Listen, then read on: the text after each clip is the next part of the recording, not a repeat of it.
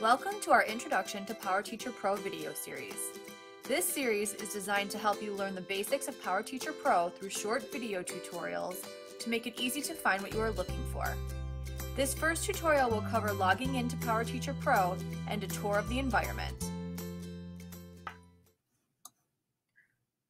To access PowerTeacher Pro, you will always log in to the PowerTeacher portal.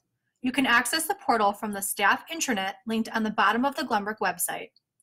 Feel free to bookmark the login page or add it to your toolbar for easy access. If you have used PowerTeacher Pro in previous years, the start page should look very familiar. You'll see the navigation bar on the left-hand side and the current classes in the middle. If you teach in more than one school, you can change the school in the top of the screen.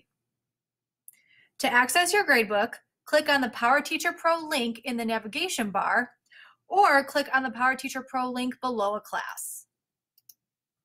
Once you've opened your gradebook, you may see a Getting Started page introducing you to the environment. You can turn that page off by clicking on the X or turn it back on under Help, Getting Started. You can also take a look at what new features have been added by clicking on What's New under Help. In the upper right, you'll see the navigation bar. This is where you can create assignments or categories to set up your grade calculations. You can also find the Help menu with various resources and tutorials. By clicking on the profile icon, you have the option to sign out or adjust the size of your view to small, medium, or large. On the top of the screen, you'll see the class selector. From the class selector, you can select a single class, select a group of classes, change the semester or the school year, or go directly to the progress screen or score sheet. We'll discuss both of these in later videos. In the top right, you'll see the report term selector, which allows you to navigate between the semester work and final exam. On the left, you'll see what's referred to as the charms bar.